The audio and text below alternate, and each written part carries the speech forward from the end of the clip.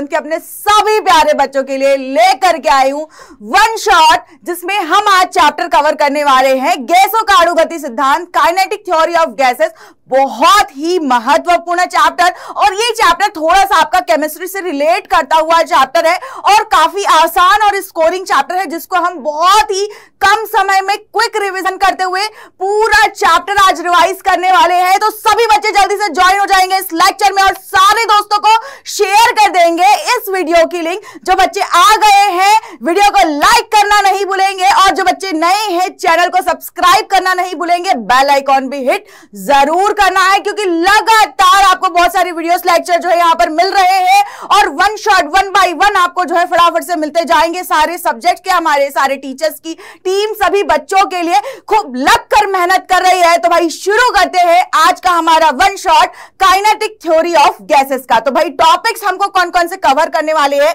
ये हम देखते हैं यहाँ पर फटाफट। तो भाई, हमको जो है बेसिक समझना है इसका काइनेटिक थ्योरी ऑफ़ गैस अणुगति सिद्धांत का, उसके बाद जो गैस का व्यवहार है, उस व्यवहार के लिए पाँच नियम जो लगते हैं, इनको हमको क्विक रिवाइज करना है। इसके बाद आदर्श गैस और गैसों की अणुगति सिद्धांत और जो दाब का यहाँ पर समीकरण है, उसको हम लोगों की, उसकी व्युत्पत्ति हम लोगों को देखते हुए बढ़ना है आगे कि इस दाब के समीकरण से किस तरीके से हम जो गैस के पाँच नियम हम लोगों ने पढ़े उसको किस तरीके से हम फाइंड आउट कर सकते हैं।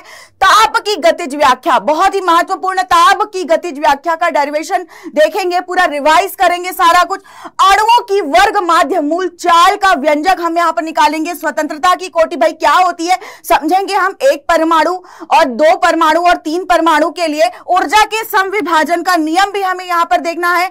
बाध्य मुक्त पद के बारे में और आवोग्रादो संख्या बहुत ही महत्वपूर्ण जो है, इसके बारे में हम लोगों को समझना है। तो भाई, कहीं ये ना समझ लेना कि मैम फिजिक्स की क्लास चल रही है या फिर केमिस्ट्री की। तो भाई, ये है आपकी फिजिक्स की क्लास जिसमें आप जो है इन गैसों के अणुगति सिद्धांत के बारे में इनके डेरिवेटिव पार्ट्स को पढ़ोगे, ठीक है? रासायनिक जो चीज़ें होती है, वो आप केमिस्ट्री में पढ़ते हो। यहाँ पर आप उनके डेरिवेटिव पार्ट्स को जो है पढ़ने वाले हो। तो शुरू करते हैं हमारा लेक्चर। तो सबसे पहले हम बात करते हैं द्रव्य की आणविक प्रकृति की। तो आपको पता है कि जो द्रव्य पदार्थ होते हैं, उनको तीन भागों में विभाजित किया गया है, ठोस, द्रव और गैस, राइट? और आप लोगों ने जो है डॉल्टन के परमाणु सिद्धांत के बारे में पढ़ा है ऑलरेडी केमिस्ट्री में पढ़ा है, जिसको हम अणुगति सिद्धांत या फिर परमाणु सिद्धांत के अनुसार नाम से जो है जानते हैं। और आपको पता है कि किस तरीके से जो ठोस द्रव और गैस जो होते हैं, इनमें जो कण होते हैं, इन कणों का जो डिस्ट्रीब्यूशन है वो किस तरीके से रहता है, आपको पता है कि ठोस में कण बहुत पास पास रहते हैं और एक दूसरे से बहुत मज़बूत बंध बनाकर रखते हैं। लिक्विड में जो है थोड़ा दूर और गैस में काफ़ी ज़्यादा दूर दूर होते हैं। तो हमको जो है इस गैस के बारे में जितना भी नियम है, जो भी कॉन्सेप्ट है फिजिक्स कली भौतिकी में जो कॉन्सेप्ट है, उन सारे कॉन्सेप्ट को, इन गैस के सारे कॉन्सेप्ट को जो है, हम लोगों को इस चैप्टर में पढ़ना है, जो गैसों के अणुगति सिद्धांत के अनुसार पढ़ेंगे। राइट तो जब हम इसको पढ़ेंगे, गैसों के अणुगति सिद्धांत तो यहाँ पर हम लोगों को सबसे पहले समझना है, गैसों के व्यवहार को। तो जो गैस के व्यवहार है, इन जो, ये सारी जो चीज़ें हैं, वो तीन चीज़ पर आधारित है। ये सारी चीज़ें जो है, तीन चीज़ पर आधारित है यहाँ पर। एक जो है दाब और दूसरा जो है आयतन और तीसरा जो है ताप। क्योंकि जब हम ये गैस की बात कर रहे हैं तो यहाँ पर आपने जैसे तरलों के यांत्रिक गुण में भी दाब के बारे में पढ़ा होगा। यहाँ पर दाब कैसे लग रहा है बेटा? तो यहाँ पर है ना, ये गैस के अणु जो है, इस पात्र में बार बार क्या करेंगे? इसकी दीवारों से टकराएँगे और दाब आरोपित करेंगे राइट तो पास्कल के नियम के अनुसार दाब, और यहाँ पर ये एक आयतन पर है। तो गैसों का आयतन में ये सारे के सारे गैस क्या करेंगे? समान रूप से सारे जगह पे एक रूप से वितरित रहेंगे। एक जगह इकट्ठे नहीं होंगे, यहाँ पर गैस के कण सब तरफ़ बराबर फैले हुए होंगे। और यहाँ पर इस गैस का तापमान क्या है, ये बहुत बहुत ही महत्वपूर्ण भूमिका निभाता है। तो ये जो तीन भौतिक अवस्थाएँ हैं, इन तीनों, दाब, ताप और आयतन, इन तीन भौतिक अवस्थाओं के आधार पर ही हम सारे जो है यहाँ पर गैसों के व्यवहार के बारे में समझते हैं, जिसमें पाँच नियम है। बॉयल का नियम चार्ल्स का नियम, दाब का नियम, आवोग्रादो का नियम और डाल्टन का आंशिक दाब का नियम। जब हम बात करते हैं बॉयल के नियम की तो बॉयल के नियम में जो है यहाँ पर तापमान को जो है कॉन्स्टेंट रखा जाता है, ठीक है? और तापमान को कांस्टेंट रखते हुए जो है हमको ये विभिन्न जो है यहाँ पर इक्वेशंस प्राप्त होते हैं। और यहाँ पर आप देख पा रहे हो कि क्योंकि जब ताप कांस्टेंट है तो बॉयल के नियम में क्या हो जाएगा? आयतन और दाब एक दूसरे के विक्रमानुपाती हो जाएँगे। जब यहाँ पर समानुपाती का चिन्ह हटाएँगे तो हमको इस तरीके से पीवी बराबर यहाँ पर के जो है हासिल होगा। और जब यहाँ पर हम ग्राफ बनाएँगे दाब और आयतन के बीच का। तो ये ग्राफ बहुत ही महत्वपूर्ण है। जब आप उष्मागत की पढ़ोगे तो वहाँ पर ये ग्राफ आपका जो है आ, काफ़ी काम आता है। ठीक है? तो ये आदर्श गैस जो बॉयल के नियम का पालन करते हैं। तो ये जो पिंक कलर की लाइन यहाँ पर खींची गई है ये जो है आदर्श गैस के लिए यहाँ पर क्या है? ग्राफ है। और जो येलो कलर की लाइन खींची गई है ये वास्तविक गैस के लिए है। किसके लिए है? वास्तविक गैस के लिए ग्राफ है। क्योंकि होता क्या है? आदर्श गैस और वास्तविक गैस का मतलब क्या होता है? आदर्श रूप में जो हम समझते हैं कि भाई ये पूरा पूरा एग्जैक्टली व्युत्क्रमानुपाती होगा। लेकिन है ना एग्जैक्टली व्युत्क्रमानुपाती नहीं होता, वहाँ पर थोड़ा थोड़ा जो है चेंज आपको देखने के लिए मिलता है। तो वो व्यवहारिक रूप में, वास्तविक रूप में जो है थोड़ा सा आदर्श रूप से अलग पाया जाता है। येलो लाइन से आपको प्रदर्शित किया गया है। चार्ल्स के नियम की जब हम बात करते हैं तो चार्ल्स के नियम में जो है क्या होता है? दाब कांस्टेंट रखा जाता है। क्या कांस्टेंट रखा जाता है आपका? दाब कांस्टेंट रखा जाता है। और जब दाब कांस्टेंट होता है तो आयतन और ताप के बीच हम लोगों को संबंध प्राप्त होता है। आयतन समानुपाती होता है, ताप के, ठीक है? और जब यहाँ पर समानुपाती का चिन्ह हटाते हैं तो फिर से हमको यहाँ पर के नियतांक प्राप्त होता है। और अगर हम एक से ज़्यादा सिस्टम्स के लिए, यानी कि, यानी एक से ज़्यादा जो है हम निकायों के लिए जब देखते हैं तो हम लोगों को इस तरीके से जो है समीकरण प्राप्त होता है। अब यहाँ पर भी हम क्या करेंगे, क्योंकि रिलेशन हमको आयतन और ताप के बीच में प्राप्त हो रहा है तो यहाँ पर हम आयतन और ताप के बीच ग्राफ बनाएँगे। तो यहाँ पर ये जो आप देख पा रहे हो, पिंक कलर की लाइन ये जो है आदर्श गैस के लिए जो है यहाँ पर ग्राफ को दर्शाती है। तो यहाँ पर जो है यहाँ पर आदर्श गैस के लिए दर्शाती है बट वास्तविकता में क्या होता है? ये जो सफ़ेद रंग की लाइन आप देख पा रहे हो वास्तविकता में जो है आ, जो है आपका ये इस तरीके से आयतन और ताप के बीच का ग्राफ जो है बन पाता है। इसके बाद हम दाब के नियम की बात करते हैं। तो यहाँ पर दाब के नियम में जो है दाब और ताप के बीच का संबंध हमको प्राप्त होता है जिसमें जो है आपका आयतन नियत रहता है। क्या नियत रहता है? आयतन नियत रहता है और बिल्कुल यहाँ पर जो है दाब समानुपाती होता है ताप के। तो बिल्कुल अगर हम एक से अधिक निकायों के लिए देखें तो यहाँ पर भी हमें वैसे ही प्राप्त होगा, जैसे यहाँ चार्ल्स के नियम में प्राप्त हुआ था, आयतन और ताप के बीच। यहाँ पर दाब और ताप के बीच मिल रहा है, और यहाँ पर भी आदर्श गैस के लिए और वास्तविक गैस के लिए जो है, यहाँ पर आप ग्राफ देख पा रहे हैं। बढ़ते हैं आगे, चौथे नियम की बात करते हैं। आवोग्रादो का नियम। अब ये नियम क्या कहता है कि अगर जो भौतिक अवस्थाएँ जिनकी हम बात कर रहे हैं, देखो अभी तक क्या हो रहा था कि एक एक चीज़ कांस्टेंट थी, अब यहाँ पर तीनों चीज़ समान है। तीनों चीज़ नहीं बदल रही है, तीनों चीज़ समान है, दो अलग अलग गैसों के लिए। दो अलग अलग गैसों के लिए मान लो कि एक जो है हाइड्रोजन गैस के लिए है, एक जो है मान लो कि ऑक्सीजन गैसों के लिए दो अलग अलग गैसों के लिए तीनों चीज़ें अगर समान है तो ये नियम ये कहता है आवोग्रादो का नियम कि यहाँ पर जो अणुओं की संख्या रहेगी ना, वो भी क्या रहेगी? समान। यहाँ पर N1 और N2 क्या है? N1 हाइड्रोजन गैस में अणुओं की संख्या एन टू ऑक्सीजन गैस में अणुओं की संख्या हमने माना है, ठीक है? तो दोनों ही क्या रहेगी? दोनों ही अणु, दोनों में अणुओं की संख्या समान रहेगी। अगर ये दाब, ताप और आयतन तीनों एक समान हो दोनों गैसों के लिए, तब के कंडीशन में ये आवोग्रादो का नियम कहलाता है। और यहाँ पर ये जो एन ए है, ये आवोग्रादो संख्या को प्रदर्शित करता है, जिसका वैल्यू क्या होता है?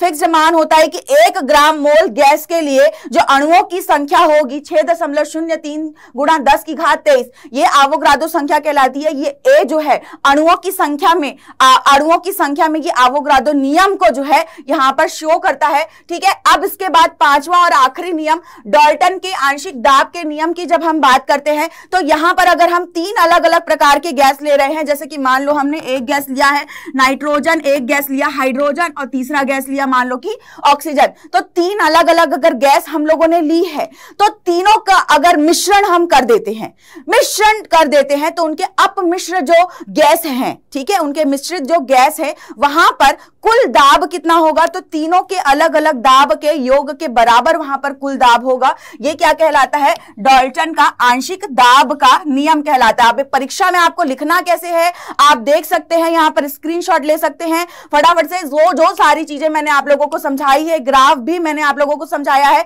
सारा कुछ यहाँ पर लिखा हुआ है। जल्दी से फटाफट से ले सकते हैं स्क्रीनशॉट अब इसके बाद हम यहाँ पर जो है, जैसे बॉयल का नियम जब हम लोगों ने पढ़ा तो बॉयल के नियम में हमको जो है, अणु घनत्व के रूप में भी बॉयल के नियम को हमको यहाँ पर देखना होता है। तो अगले चार नियम देखने से पहले एक बार मैं आपको फटाफट से बता देती हूँ कि अणु घनत्व के रूप में बॉयल का नियम कैसे होता है। तो यहाँ पर ये जो एन है, वो क्या है? गैस में अणुओं का घनत्व, ठीक है? और यहाँ पर एन क्या है? एन जो है अणुओं की संख्या है। एन क्या है? अणुओं की संख्या। और अणु घनत्व जो वो है, क्या हो जाएगा? एकांक आयतन में अणुओं की संख्या मतलब वी यहाँ पर आयतन है। आयतन को हमने एकांक आयतन कंसिडर किया है। और एकांक आयतन में अणुओं की संख्या ही यहाँ पर अणु घनत्व कहलाती है, जो कि बॉयल के नियम का पूरा पूरा पालन करती है। और यहाँ पर जो है, हमने क्या किया? वी को इधर ले गए और यहाँ पर अणु घनत्व को या फिर एकांक आयतन में अणुओं की संख्या को हमने क्या किया?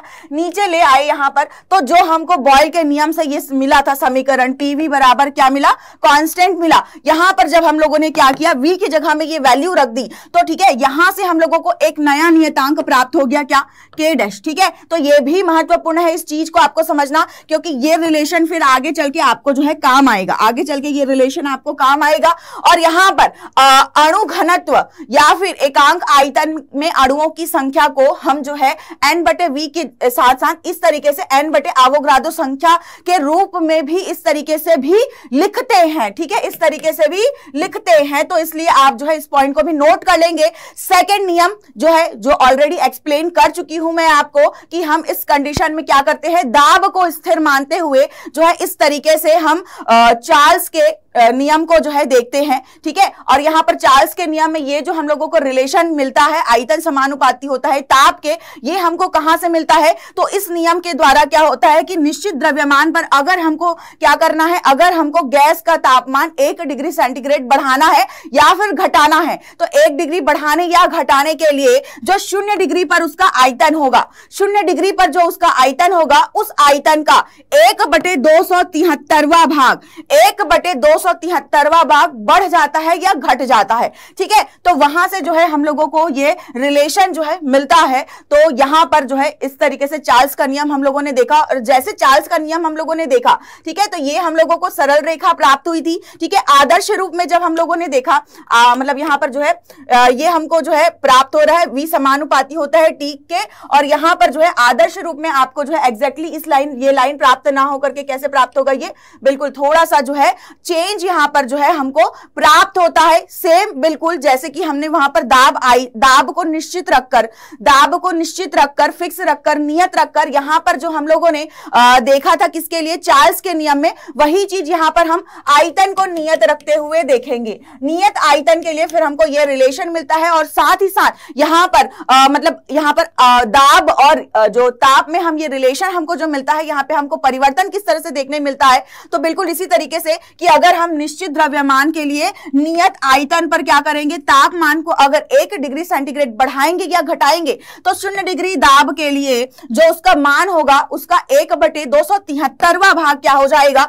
बढ़ जाएगा या घट जाएगा दाब। ठीक है? अब इसके अनुसार ही आगे चल के हम लोगों को यह रिलेशन मिलता है। जब हम डेरिवेशन करते हैं तो पी समानुपाती होता है टी के। बढ़ते हैं आगे, आवोग्रादो नियम की बात करते हैं तो ये तो बहुत ही आसान है कि अगर हमारे पास दो तरह की गैसेज है और समान दाब समान दाब और समान ताप पर क्या होता है? गैसों के आयतन में अणुओं की संख्या क्या होगी? गैसों के आयतन में अणुओं की संख्या जो है समान होगी। आवोग्रादो का नियम कहलाता है और ये वैल्यूज़ में ऑलरेडी आपको जो बता चुकी हूँ। फटाफट से ले सकते हैं आप स्क्रीनशॉट बढ़ते हैं आगे पाँचवें नियम की तरफ़। आंशिक दाब का नियम, तीन अलग अलग गैस का मिश्रण यहाँ पर अगर है तो कुल दाब जो है तीनों के सेपरेट दाब के योग के बराबर होगा। बढ़ते हैं आगे और आदर्श गैस की बात करते हैं तो जो हम लोगों ने अभी गैसों के व्यवहार के बारे में पढ़ा, जिसके अनुसार हम लोगों को कुछ नियम प्राप्त हुए।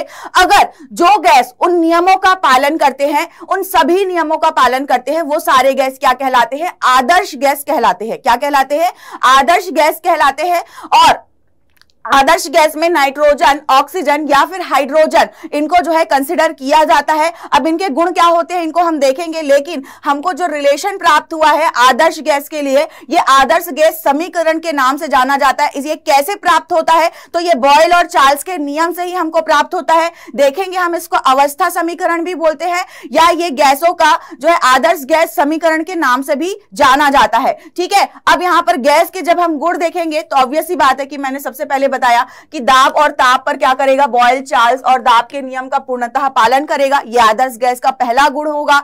आयतन प्रसार गुणांक या दाब गुणांक की जब हम बात करते हैं तो ये दोनों क्या होंगे? बराबर होंगे गैसों में। दोनों क्या होंगे? आयतन और दाब गुणांक जो है, बराबर होंगे गैसों में। इस गैस के अणुओं का आकार, गैस के आयतन की तुलना में क्या होता है? लगभग नगण्य होता है, क्योंकि यहाँ पर आप देख सकते हैं कि ये पूरा आयतन है और इसका ये एक अणु है। तो अगर आयतन से इस एक अणु की अगर हम तुलना करें तो नगण्य के बराबर ही होगा। और यहाँ पर ये इतना नगण्य है कि यहाँ पर किसी भी तरीके का आकर्षण बल भी कार्य नहीं करेगा, क्योंकि जब हम आकर्षण बल यानी कि हम गुरुत्वाकर्षण द्रव्यमान पर आधारित आकर्षण बल की बात करें तो गुरुत्वाकर्षण बल की बात आती है। तो यहाँ पर जो गुरुत्वाकर्षण बल होता है, वो क्या होता है? द्रव्यमान के गुणनफल के समानुपाती होता है। दो कणों के द्रव्यमान के गुणनफल के समानुपाती होता है। अब यहाँ पर गैस का जो प्रत्येक कण है, वो इतना छोटा है, इतना छोटा है कि यहाँ पर गुरुत्वाकर्षण बल जो है नगण्य होगा। बिल्कुल भी प्राप्त नहीं होगा, ठीक है? तो ये जो है आपका गैस, आदर्श गैस के जो है गुण हो गए। अब जो हम लोगों ने आदर्श गैस समीकरण की बात करी, ये समीकरण की बात, ये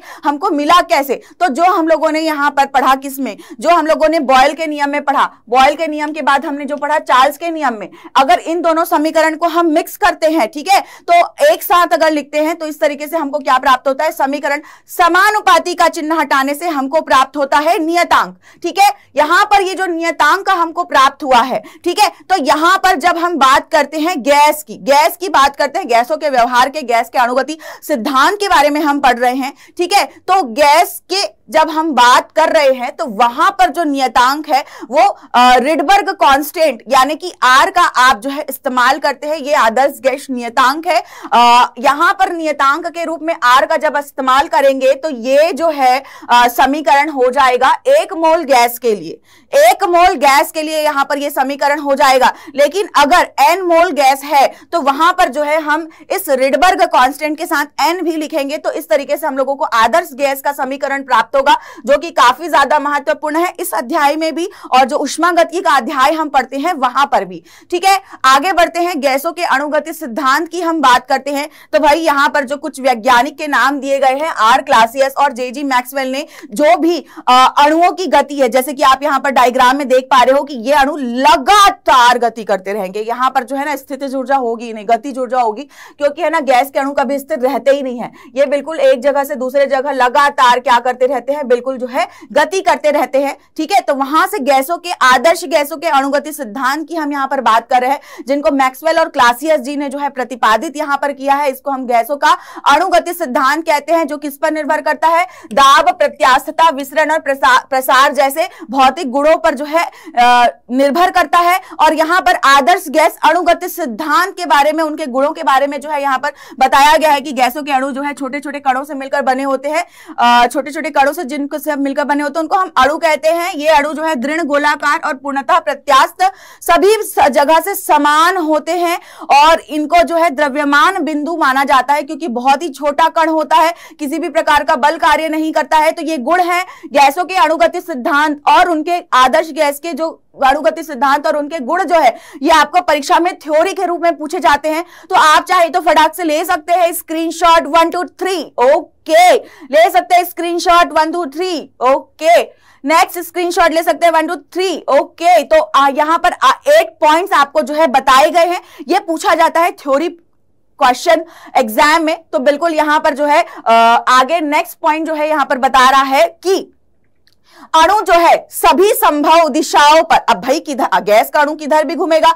समान चाल से घूमेगा एक जगह से दूसरे जगह जाएगा तो अनियमित रूप से क्या करेगा एक दूसरे से टक्कर होगा एक जगह एक भाग पर कभी भी एकत्रित नहीं होगा और सारे बर्तन में समान रूप से सारे तरफ़ क्या रहेगा बिल्कुल फैला रहेगा और मान लो कि दो आ, दो यहाँ पर अणुओं के बीच में क्या हो रहा है आपस में टक्कर हो रहा है है ना? आपस में टक्कर हो रहा है या फिर एक अणु जो है दूसरे अणु से ऐसे टक्कर होंगे एक से दूसरे से जब टक्कर होंगे तो यहाँ पर इनके बीच की जो गति होगी, वो सरल रेखा में ही होगी। अब ऑब्वियस सी बात है भाई कि एक अणु अगर मान लो कि चलेगा, आगे बढ़ेगा तो वो ऐसे ऐसे करके नहीं बढ़ेगा, वो सीधी सरल रेखा में ही आगे बढ़ेगा। तो यहाँ पर जो है, इसको हम क्या कहते हैं एक मतलब कि एक बिंदु से दूसरे बिंदु तक एक अणु के द्वारा जो तय की गई दूरी है, वो मुक्त पथ यानी कि फ्री पाथ कहलाती है। किसी भी टक्करों में लगने वाला समय क्या होता है? बहुत ही नगण्य होता है और मुक्त रूप से अणु क्या करते हैं? गति करते रहते हैं। अब यहाँ पर जो अणुओं के टक्कर होते हैं, वो पूर्णतः प्रत्यास्थ होते हैं, क्योंकि जब ये एक दूसरे से टकराते हैं तो किसी भी प्रकार से यहाँ पर ऊर्जा जो है, ऊर्जा का लॉस यहाँ पर नहीं करते हैं वो लोग। वो मतलब जैसे गति कर रहे थे पहले जैसे वैसे ही हो जाते हैं। मतलब गतिज ऊर्जा उनमें निरंतर लगातार बनी रहती है। ठीक है? और यहाँ पर गतिज ऊर्जा बदलती नहीं है, बिल्कुल। इसीलिए इनको पूर्णतः प्रत्यास्थ कहा गया है और बाकी अणुओं का द्रव्यमान काफ़ी नगण्य होता है और इनका वेग बहुत अधिक होता है। तो द्रव्यमान नगण्य और वेग अधिक। तो इस पॉइंट को आपको ध्यान रखना है और गुरुत्व बल का प्रभाव नहीं होता। इसके बारे में तो हम ऑलरेडी बात कर चुके हैं। गैस का दाब, बर्तन की दीवार पर अणुओं के निरंतर टकराने की वजह से दीवार को क्या करता है? संवेग प्राप्त प्रदान करता है। मतलब कि जो बार बार यहाँ पर गैस के अणु क्या कर रहे हैं, इस बर्तन की दीवारों से टकरा रहे हैं, ठीक है? टकरा रहे हैं तो टक्कर की वजह से आप लोगों ने देखा होगा संवेग में क्या होता है, परिवर्तन। तो जो यहाँ पर अणु का संवेग है, वो कहाँ पर चला जाएगा? दीवार के पास चला जाएगा, ठीक है? तो वहाँ से क्या होगा? उन अणुओं के कारण दीवार पर दाब आरोपित होगा। और यहाँ पर इस आदर्श गैस के, दाब के लिए हम लोगों को पूरा डेरिवेशन देखना है, ठीक है? तो इस तरीके से इन सारे भौतिक गुणों पर आधारित होता है ये अणुगति सिद्धांत गैसों का, जिसके अनुसार हम इनकी व्याख्या को देख रहे हैं। ठीक है, अब हम किसी आदर्श गैस की दाब की, जैसे कि बात कर रहे हैं तो बिल्कुल आठवां पॉइंट जो हम लोगों ने गैसों के अणुगति सिद्धांत का हमने पढ़ा है, जैसे कि मान लो कि ये क्या है, एक पात्र है, अब इस पात्र में क्या है, मान लो कि गैस के अणु है। ठीक है, अब ये गैस के अणु क्या हो रहे हैं, मान लो कि जैसे ये अणु क्या हुआ, गैस के पात्र से टकराया। हर अणु अलग अलग समय में जो है अलग अलग समय अंतराल में गैस के पात्र से टकराएगा। तो जब यहाँ पर ये पात्र से टकराएगा तो इसके कुछ आयतन से यहाँ पर इसका क्या होगा? इस आ, मतलब बर्तन के आयतन से यहाँ पर क्या होगा? आ, इस कण का टक्कर होगा। जब टक्कर होगा तो आपको संघट आप लोगों ने पढ़ा है कि वहाँ पर क्या होता है? संवेग जो है स्थानांतरित हो जाता है। ठीक है? संवेग संरक्षण के नियम के आधार पर क्या हो जाएगा कि यहाँ पर ये जो कण है, अपना संवेग किसको दे देगा? दीवार को दे देगा और कुल संवेग नियत रहेगा। संवेग संरक्षण के नियम के अनुसार कुल संवेग नियत रहेगा। लेकिन इस तरीके से जब बार बार आपने तरलों के यांत्रिक गुण में भी पढ़ा कि बार बार जब यहाँ पर कण टकराएँगे तो यहाँ पर क्या आरोपित होगा? दाव आरोपित होगा, जो एकांक क्षेत्रफल में कितना बल आरोपित कर रहा है, जहाँ से हम लोगों को क्या प्राप्त होगा? दाब प्राप्त होगा। और यहाँ पर यहाँ पर जो स्थायी रूप से लगातार गैस के कण निरंतर गति करते रहेंगे, क्योंकि उनकी गतिज ऊर्जा बनी रहेगी, लगातार बनी रहेगी तो लगातार जो है दाब आरोपित होगा। अब जैसे कि आप बात करोगे मान लो कि कोई पानी बॉटल है, राइट? अब पानी बॉटल के अंदर में हवा भरी है, मान लो कि पानी आपने थोड़ा सा बचा है, बाकी जगह में हवा भरी है, नीचे में मान लो कि थोड़ा द्रव भरा हुआ है, ठीक है? कभी कभी बॉटल गलती से अगर पिचक जाता है, ठीक है? तो अगर देखना ढक्कन खोलना तो वो ऑटोमेटिक जो है आपके एटमॉस्फेरिक दाब की वजह से ऑटोमेटिक कभी कभी क्या हो जाता है? सीधा हो जाता है क्योंकि हमारे एटमॉस्फेयर में गैस मौजूद है और वो क्या लगातार दाब आरोपित करते हैं। और ये जस्ट मैंने आपको एग्ज़ाम्पल के लिए बताया यही क्या है? गैस का बल दाब कहलाता है जिसके बारे में हमको देखना है डेरिवेशन तो भाई यहाँ पर जो है एक आयताकार हम लोगों ने क्या लिया है? एक आयताकार हम लोगों ने पात्र लिया सॉरी एक घन लिया है हम लोगों ने ठीक है?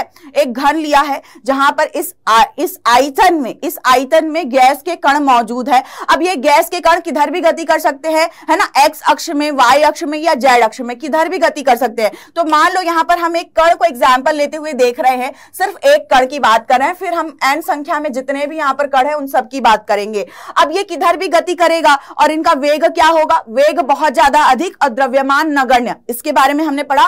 वेग तीनों दिशाओं में अगर हम बात करें, तीनों अक्षों में तो V X V Y V Z यहाँ पर ले लिया गया। ये क्या होगा? मान लो कि यहाँ पर दीवार से टकराया। दीवार से टकराया। टकरा कर क्या हो जाएगा ये? विपरीत दिशा में वही, उसी वेग से वापस आ जाएगा, पर वेग की दिशा बदल गई। वेग की दिशा बदल गई, ठीक है? तो इसलिए हम लोगों ने यहाँ पर माइनस वी एक्स किया, क्योंकि कण सरल रेखा में गति करते हैं। तो मान लो कि यहाँ पर दीवार से टकराया तो हमने तीनों में से किसी एक अक्ष को ही लिया है, क्योंकि केवल और केवल हम एक फ्री पाथ की, एक मुक्त पथ की यहाँ पर बात कर रहे हैं। लेकिन जब ये दीवार से टकराएगा तो यहाँ पर क्या होगा? कण का कुछ ना कुछ संवेग होगा, जो कि क्या करेगा? दीवार दीवार को अपना संवेग जो है स्थानांतरित कर देगा। तो दीवार का संवेग जो है कण के संवेग के विपरीत चिन्ह में जो है हो जाएगा। तो जब हम यहाँ पर कण के संवेग की बात करते हैं कि संवेग में परिवर्तन की जब हम बात करते हैं हैं। अणु के संवेग में जब परिवर्तन की बात करते हैं तो संवेग बराबर द्रव्यमान गुणा वेग। और संवेग में परिवर्तन, अणु के संवेग में परिवर्तन जो है, आपका क्या हो जाएगा? Minus two M V X हो जाएगा। अब ये संवेग में परिवर्तन दीवार को भी स्थानांतरित करेगा। तो दीवार पर संवेग विपरीत चिन्ह के साथ टू एम वी एक्स हो जाएगा। अब जिस, जितने क्षेत्रफल से, जितने क्षेत्रफल से यहाँ पर ये टकरा रहा है है ना? जितने क्षेत्रफल से यहाँ पर ये टकरा रहा है और जितना विस्थापन उत्पन्न हो रहा है, जिसकी वजह से यहाँ पर दीवार का आयतन भी महत्वपूर्ण होगा। तो यहाँ पर हम दीवार का आयतन जो है यहाँ पर निकालेंगे। तो दीवार का आयतन यहाँ पर जो है क्षेत्रफल गुणा विस्थापन से हम लोगों को प्राप्त हो जाएगा। लंबाई लंबाई गुणा चौड़ाई गुणा। ऊंचाई आयतन तो लंबाई गुणा चौड़ाई आपका क्षेत्रफल हो गया। और मान लो ऊंचाई की अगर बात करें तो वो विस्थापन है कि कितनी दूरी पर यहाँ पर विस्थापन हो रहा है। तो विस्थापन बराबर वेग गुणा समय से हम लोगों को वी एक्स डेल्टा टी प्राप्त होता है। वी एक्स इसलिए ले रहे हैं, सरल रेखा में गति कर रहा है तो किसी एक अक्ष की गति को हम यहाँ पर ले रहे हैं। दीवार का आयतन इस संवेग में परिवर्तन के लिए हमको प्राप्त हुआ। ठीक है, अब देखो, बहुत सारे कण हैं, यहाँ पर हम किसी एक कण की बात कर रहे हैं, और जब दीवार से टकराएगा तो थोड़े से समय के लिए ही टकराएगा। तो मान लेते हैं कि यहाँ पर डेल्टा टी टाइम के लिए यहाँ पर क्या हो रहा है? टक्कर हो रहा है। तो डेल्टा टी समय में अणुओं द्वारा दीवार को दिया गया संवेग हम लोगों ने यहाँ पर देखा। तो यहाँ पर जो हम लोगों ने दीवार का संवेग और दीवार के आयतन को जब यहाँ पर गुणा किया तो हमको यहाँ पर जो है डेल्टा टी समय में अणुओं द्वारा दीवार को दिया गया संवेग two N M V X का वर्ग डेल्टा टी प्राप्त हुआ। समीकरण नंबर दो हमने इसको नाम दिया।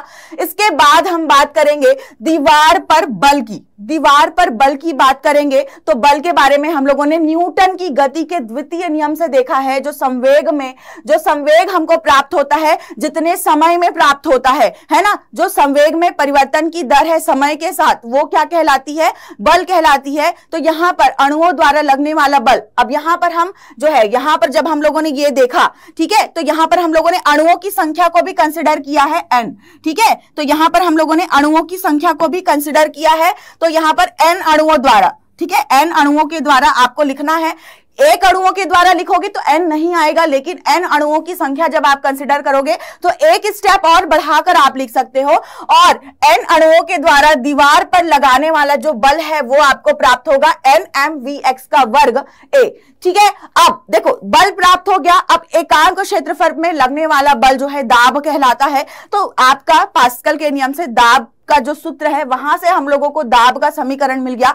एन एम वी एक्स का वर्ग समीकरण नंबर चार हो गया। ठीक है, अब हम लोगों ने क्या बात करी थी? हमने बात करी थी एक कण की, एक अक्ष पर गति की। लेकिन ये स्वतंत्र है तीनों अक्ष पर गति करने के लिए। और तीनों अक्ष पर गति करने के लिए अगर स्वतंत्र है और हमको कुछ ठीक से पता नहीं है कि वो किधर कब जाएगा तो हमको उसका औसत निकालना पड़ेगा, औसत वेग निकालना पड़ेगा तीनों ही अक्षों पर। अब तीनों ही अक्षों पर जो औसत वेग है, हर अक्ष का औसत वेग एक दूसरे के बराबर होगा, ठीक है? पर तीनों का जब हम औसत निकालते हैं मतलब कुल वेग का औसत जब हम निकालते हैं तो हमको किसी एक कण के लिए कुल वेग का औसत एक बटे तीन, एक बटे तीन वी बार का वर्ग, ये बार जो है, ये प्रदर्शित करता है कि यहाँ पर जो है, हम औसत वेग की बात कर रहे हैं सारे अणुओं के लिए, ठीक है? तो यहाँ पर हम क्या करेंगे, क्योंकि हमने तीनों अक्ष पर निकाल लिया है तो यहाँ पर हम वी एक्स की जगह पर वी एक्स की जगह पर एक बटे तीन, एक बटे तीन वी का वी बार का वर्ग जो है, यहाँ पर हम रखेंगे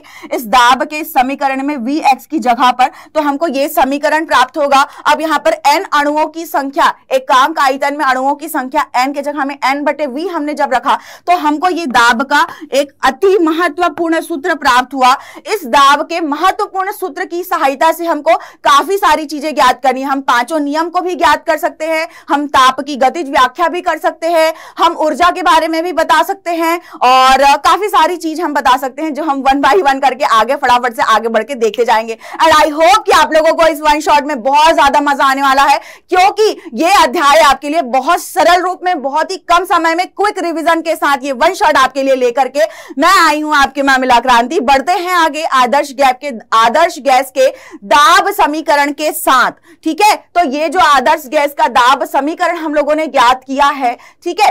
तो इस समीकरण में हमको दाब और ऊर्जा घनत्व के बीच का संबंध बताना है, ठीक है? तो हम बात करते हैं गैसों के घनत्व की, घनत्व को हम प्रदर्शित करते हैं रो से द्रव्यमान बटे आयतन घनत्व, जो है गैस के घनत्व की हम यहाँ पर बात कर रहे हैं। तो यहाँ पर एन अणुओं की संख्या है और हर एक अणु का द्रव्यमान स्मॉल एम तो कुल द्रव्यमान बटे आयतन यहाँ से हम लोगों को गैसों का घनत्व हमें प्राप्त हो गया। अब जो हमारा ये समीकरण है, इस समीकरण में हमने क्या किया? इस एम एन बटे वी के जगह में हम लोगों ने रख दिया क्या? घनत्व। तो दाब का सूत्र हमको गैस के घनत्व के रूप में यहाँ पर प्राप्त हुआ एक बटे तीन रो वी का वर्ग, गैस के घनत्व के रूप में। अब क्योंकि हमको दाब का सूत्र गैस के घनत्व के रूप में हमको जब प्राप्त हुआ, इस सूत्र में हमने ऊपर और नीचे में क्या किया है? ऊपर और नीचे में हम लोगों ने दो बटे दो का अंश और हर में गुणा किया है, क्योंकि हमको ऊर्जा घनत्व से के साथ और दाब का जो है, एक दूसरे से संबंध हम लोगों को ज्ञात करना है, ठीक है? तो ऊर्जा घनत्व का संबंध ज्ञात करने के लिए दो बटे दो का जब हमने गुणा किया तो हमने देखा कि ये यहाँ पर जो है हमको ऊर्जा घनत्व, एक बटे दो रो वी का वर्ग, ये ऊर्जा घनत्व का सूत्र है, जो कि हमको इस रूप में प्राप्त हुआ। और यहाँ से हमने देखा कि दाब और ऊर्जा घनत्व के बीच का संबंध हमको प्राप्त हुआ, काफ़ी महत्वपूर्ण संबंध। आगे आपको काम आने वाला है, ज़रूर स्क्रीनशॉट लेंगे, बढ़ते हैं आगे और बात करते हैं अणुगति सिद्धांत से, गैसों के नियमों की व्युत्पत्ति। तो ये जो समीकरण हमको आदर्श गैस के दाब का जो समीकरण प्राप्त हुआ है, ठीक है? तो हम लोगों ने पाँच नियम पढ़े थे। क्या नियम, कितने नियम पढ़े थे हम लोगों ने? पाँच नियम पढ़े थे, पाँच नियम, बॉयल का नियम चार्ल्स का नियम, दाब का नियम, आवोग्रादो संख्या का नियम, आवोग्रादो नियम और पांचवा हम लोगों ने डाल्टन के आंशिक दाब का नियम मैं पूरा लिख नहीं रही हूँ, क्योंकि हमने वो बहुत अच्छे से पढ़ा है। पाँच नियम की यहाँ पर मैं बात कर रही हूँ। तो इस इस समीकरण की सहायता से हम उन सभी नियमों की क्या कर सकते हैं? उन सभी नियमों की हम व्युत्पत्ति कर सकते हैं। तो बिल्कुल आप ये जो है आ, कर पाएँगे। बहुत ही सरल है बहुत ही आसान है। आपको सिंपली यहाँ पर जो है आ, कुछ भी नहीं करना है। इस एम एन बटे वी की जगह में आपको जो है वैल्यूज़ रिप्लेस करते जाना है और ये सारे जो है आप समीकरण जो है ज्ञात कर सकते हैं।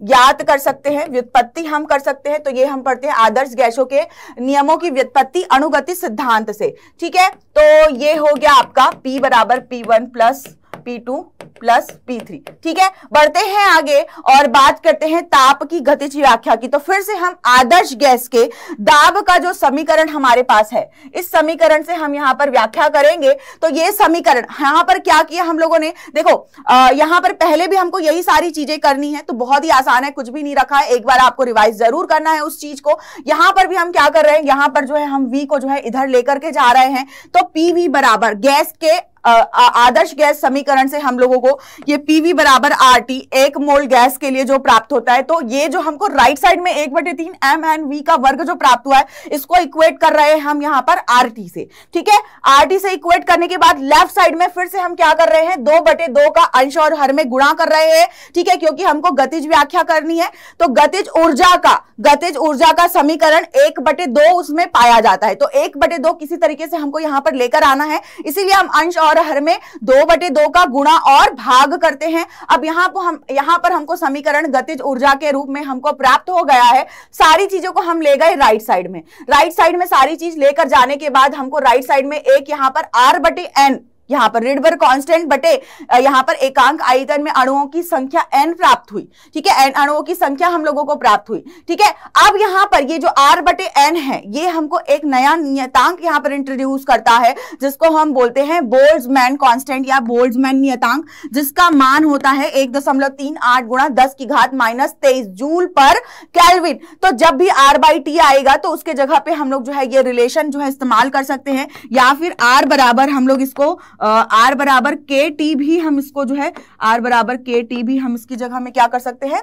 इस्तेमाल, नहीं, यहाँ पर गलती से जो है आर बाई टी लिखा गया है आर बाई एन होगा, ठीक है? प्लीज़ क्लियर कर लो, यहाँ पर आर बराबर बोल्डमैन कॉन्स्टेंट गुणा एन इस तरीके से भी कहीं पर हमको वैल्यूज़ रखने की आवश्यकता पड़ सकती है। तो इस रिलेशन को आपको ध्यान रखना है और यहाँ से हमको पता चलता है कि जो लेफ़्ट साइड में हम लोगों को गतिज ऊर्जा का समीकरण हम लोगों को प्राप्त हुआ है और राइट साइड में हम लोगों ने तीन बटे दो के टी जो प्राप्त किया है यहाँ पर ठीक है? तो यहाँ पर ये तीन बटे दो और ये के क्या है? बोल्ट्जमैन कांस्टेंट है राइट तो यहाँ पर हमको जो है रिलेशन प्राप्त होता है गतिज ऊर्जा का ता, परम ताप के साथ की एक बटे दो एम वी का वर्ग समानुपाती होता है किसके? टी के। तो मतलब ताप की गतिज व्याख्या तो गतिज ऊर्जा जो होती है किसी भी गैस के लिए वो परम ताप के समानुपाती होती है। अगर ताप शून्य होगा तो वेग भी शून्य हो जाएगा और वेग शून्य होगा तो गैस के अणुओं में कोई भी प्रकार से गतिज ऊर्जा नहीं होगी तो बिल्कुल ताप पर निर्भरता है यहाँ पर। ताप की गतिज व्याख्या के बाद हम बढ़ते हैं आगे।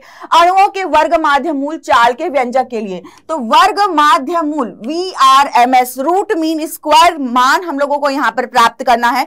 यहाँ पर भी हम क्या करेंगे, जो हम लोगों ने आदर्श गैस के दाब का समीकरण ज्ञात किया है, इस आदर्श गैस के दाब के समीकरण का इस्तेमाल करते हुए फिर से हम यहाँ पर क्या कर रहे हैं, इस वी को हम लेकर जा रहे हैं लेफ़्ट साइड में फिर से हमको प्राप्त हो गया पी वी ठीक है? तो ये जो समीकरण है, यहाँ पर हम लोगों ने स्मॉल एन और कैपिटल एन के जगह में कैपिटल एम लिखा है, अणुओं की संख्या और प्रत्येक अणु का द्रव्यमान एम तो कुल द्रव्यमान कैपिटल एम हम लोगों ने यहाँ पर कंसिडर किया है। तो यहाँ पर पी वी बराबर आर टी फिर से इस्तेमाल करेंगे गैस के समीकरण का। आदर्श गैस के समीकरण का इस्तेमाल करते हुए लेफ़्ट साइड का जो है उसको हम इक्वेट करेंगे, किससे? आर टी से इक्वेट करेंगे। अब क्योंकि हमको निकालना है, अणुओं का वर्ग माध्य मूल चाल हम लोगों को व्यंजक निकालना है तो हम यहाँ पर क्या करेंगे? वेग के वर्ग को सारे, बाकी सारी चीज़ें हम ले गए कहा? राइट साइड में ले गए। वर्ग को भी हमने राइट साइड में ले गए हम। तो यहाँ से हम लोगों को क्या प्राप्त हो गया? वर्ग माध्य मूल चाल का व्यंजक प्राप्त हो गया। वर्ग मूल तीन आर टी बटे कैपिटल एम भाई, अब ये जो है, पहला समीकरण है, चार वर्ग माध्य मूल के हमको समीकरण प्राप्त होने हैं। तो ये जो पहला है, वो पहला रूप है। ठीक है? पहला रूप है। इसके बाद अगला जो है, सामान्य रूप से जैसे हम वर्ग, माध्य, मूल, चाल निकालते हैं तो सबसे पहले हम लोगों ने क्या किया? सारे अणुओं के वेग का वर्ग, मान लो कि एन संख्या के अणु है तो उन एन संख्या के अणु का प्रत्येक का वेग V one V two V three V N तक का होगा, ठीक है? वी एन तक का होगा। अब इसमें हमने क्या किया है? इसमें जो है, हमने प्रत्येक वेग का वर्ग किया। वर्ग करने के बाद हमने उसका माध्य निकाला। माध्य निकालने के लिए हमने कुल अणुओं की संख्या एन से जो है, यहाँ पर भाग दिया। इसके बाद हम लोगों ने इनका वर्ग मूल निकाला तो ये हो गया क्या? वर्ग माध्य मूल ठीक है? वेग का वर्ग माध्य मूल या चाल का वर्ग माध्य मूल आप कह सकते हैं। ये हमारा दूसरा समीकरण। दूसरे रूप में हम लोगों ने यहाँ पर रूट मीन स्क्वायर मान प्राप्त किया है चाल का। इसके बाद अगला जो समीकरण है, वो आपके पहले समीकरण से ही प्राप्त होगा। ये जो कैपिटल एम है, जिसकी जगह हम लोगों ने स्मॉल एम और एन की जगह जो यहाँ पर कैपिटल एम रखा था, वापस से हम यहाँ पर स्मॉल एम और एन जब रख देंगे तो आर बराबर आर बराबर के एन आपको पता है आर बराबर के एन यहाँ पर मैंने आपको बताया। बिल्कुल इस समीकरण में आर बराबर बराबर के एन रखेंगे और यहाँ पर आप कैपिटल एम के जगह में स्मॉल एम और कैपिटल एन रखेंगे। एन एन और कैंसिल हो जाएगा और आपको ये नया रूप में तीसरा समीकरण प्राप्त हो जाएगा। थ्री के टी बटे स्मॉल एम अब अगला समीकरण जो है, ये आपने जो दाब और ऊर्जा घनत्व का रिलेशन आप लोगों ने देखा। दाब और ऊर्जा घनत्व का जो रिलेशन आप लोगों ने देखा था यहाँ पर, बिल्कुल इस रिलेशन से जो है, इस रिलेशन से जो है आप लोगों ने इस रिलेशन की सहायता से चौथा रूप वी मान का जो है यहाँ पर ज्ञात किया। तो इस तरीके से चार समीकरण हम लोगों को वर्ग माध्य मूल के लिए प्राप्त हुए हैं। स्क्रीनशॉट ले सकते हैं। फटाफट बढ़ते हैं आगे। और यहाँ पर हम बात करते हैं, यहाँ पर हम बात करते हैं किसकी? अणुओं के वर्ग माध्य मूल के व्यंजक जो हम लोगों ने प्राप्त किए हैं, चार व्यंजक। उनमें हम जो है रिज़ल्ट जो है देखते हैं कि जो वी मान होता है, वर्ग माध्य मूल चाल जो होता है, वो क्या होता है? ताप के समानुपाती होता है। और द्रव्यमान के वर्गमूल के विक्रमानुपाती जो है ये रिलेशन हम लोगों को इन इक्वेशंस से मिलता है ठीक है? तो यहाँ पर आ, मतलब इन इक्वेशंस में आप जो है परम शून्य ताप के लिए या फिर द्रव्यमान को शून्य रखकर अगर आप देखेंगे तो आपको जो है अगर ताप शून्य रहेगा तो वेग शून्य रहेगा वेग शून्य रहेगा तो वैसे भी हम लोगों ने ताप की गतिज व्याख्या यहाँ पर देख रखी है कि हम लोग हमारी जो गैस के अणुओं की गतिज ऊर्जा है वो भी परम शून्य ताप के लिए क्या हो जाएगा? शून्य हो जाएगा। चलो, अब अणुओं की माध्य गतिज ऊर्जा की बात करते हैं, ठीक है? तो यहाँ पर जो अणुओं की माध्य गतिज ऊर्जा गतिज ऊर्जा का यहाँ पर समीकरण हम लोगों ने लिखा है तो ये कुल अणुओं की संख्या के द्रव्यमान के लिए, कुल द्रव्यमान के लिए यहाँ पर क्या लिखा गया है आपको? कुल द्रव्यमान के लिए यहाँ पर गतिज ऊर्जा जो है आपको लिख करके बताई गई है। ठीक है? गतिज ऊर्जा जब यहाँ पर आपको लिख करके बताई गई है, इसके बाद आप देख सकते हैं कि जो वेग का हमको समीकरण, वर्ग माध्यम मूल जो हमने इक्वेशन जहाँ पर देखा था, वो समीकरण जो हमको प्राप्त हुआ, उसको हम इस वी के वर्ग की जगह में गतिज ऊर्जा के रिलेशन में जो है हम रख देंगे। तो जब ये वैल्यू हम लोगों ने रख दी वैल्यू रखने के बाद ये जो गतिज ऊर्जा है हमको इस रूप में प्राप्त हुई तीन बटे दो आर टी के रूप में। ठीक है? तीन बटे दो आर टी के रूप में। हमको निकालना है माध्य गतिज ऊर्जा। ठीक है? तो माध्य गतिज ऊर्जा मतलब औसत एवरेज सॉरी हाँ गतिज ऊर्जा, औसत एवरेज गतिज ऊर्जा को हम ई ए से यहाँ पर रिप्रेजेंट कर रहे हैं, ठीक है? तो जब हम, ये जो ऊर्जा हम लोगों ने निकाला, ये जो ऊर्जा हम लोगों ने निकाला, अगर हम इसमें क्या करेंगे? अणुओं की संख्या का भाग देंगे। कुल अणुओं की संख्या का भाग देंगे तो हमको यहाँ पर औसत गतिज ऊर्जा प्राप्त होती है, तीन बटे दो, आर बटे एन और टी। अब इसके पहले ही मैंने आपको यहाँ पर रिलेशन बताया है, आर बराबर हम लोगों को क्या मिलकर आया था? बोल्ट्जमैन नियतांक, के बराबर हमको को मिला था आर बटे एन बिल्कुल। और यहाँ से हम लोगों ने क्या किया है? आर बटे एन के जगह में यहाँ पर बोल्ट्जमैन नियतांक जब रखा तो औसत माध्य गतिज ऊर्जा, यहाँ पर अणुओं की माध्य गतिज ऊर्जा का ये हमको सूत्र प्राप्त होता है। ठीक है? कुछ चीज़ें आपको ध्यान में रखने की आवश्यकता है। दो बार, तीन बार लिख कर आपको प्रैक्टिस करने की आवश्यकता है। ज़रूर ये सारी चीज़ें दिमाग में बैठ जाएगी। अब जैसे कि जो हम गतिज ऊर्जा, गतिज व्याख्या हम लोगों ने जब करी थी तो वहाँ पर भी हम लोगों ने देखा था कि ताप पर गतिज ऊर्जा की निर्भरता है। यहाँ पर भी गतिज ऊर्जा की निर्भरता ताप पर है। परम शून्य ताप के लिए क्या हो जाएगा? वेग भी शून्य हो जाएगा और अणुओं की गतिज ऊर्जा और माध्यतिज ऊर्जा, दोनों की दोनों ही क्या हो जाएगी? दोनों की दोनों ही यहाँ पर शून्य हो जाएगी। तो अणुओं की माध्य गतिज ऊर्जा भी हमने यहाँ पर देख लिया है। स्वतंत्रता की कोटि की हम यहाँ पर बात कर रहे हैं। तो स्वतंत्रता की कोटि से क्या तात्पर्य है? तो भाई, कि मान लो कि हमने क्या किया? एक किसी सिलेंडर में हम लोगों ने गैस भरा, ठीक है? जैसे आप लोगों के घरों में खाना पकाने के लिए भी सिलेंडर का इस्तेमाल किया जाता है। ऑक्सीजन गैस का भी सिलेंडर होता है। आग बुझाने के लिए भी गैस का सिलेंडर। तो मान लो कि कोई वो निकाय है, कोई भी एक निकाय की बात करें, उसके अंदर जो है गैस जो भरी हुई है, स्वतंत्रता की कोटि क्या बताती है कि कितने स्वतंत्र गतियों की संख्या है? मतलब कि उस निकाय में संभव स्वतंत्र गतियों की संख्या जो है गैस के अणुओं के लिए बताती है जिसका हम नाम देते हैं स्वतंत्रता की कोटि, और वो बिल्कुल किस किस पर निहित रहती है? तो उस निकाय की ऊर्जा पर निहित रहती है कि उस निकाय में कितनी ऊर्जा है जो कि विभिन्न विभिन्न बातों पर निर्भर करती है, जो हम लोगों ने विभिन्न समीकरण में देखा। ये क्या कहलाती है? स्वतंत्रता की कोटि। जैसे कि मान लो कि अगर मैं गैस के एक अणु के लिए बात करूँ, ठीक है? तो एक अणु कितने स्वतंत्र गतियाँ यहाँ पर इस एक अणु के लिए संभव है? तो जैसे हम लोगों ने दाब की जब गतिज व्याख्या की थी तो वहाँ पर ही हमने एक अणु की बात की थी। तो ये जो है बिल्कुल एक्स अक्ष वाई अक्ष और जेड अक्ष मतलब कि तीन अक्षों में यहाँ पर जो है गैस के अणुओं की, गैस के अणुओं की जो गति है वो संभव है।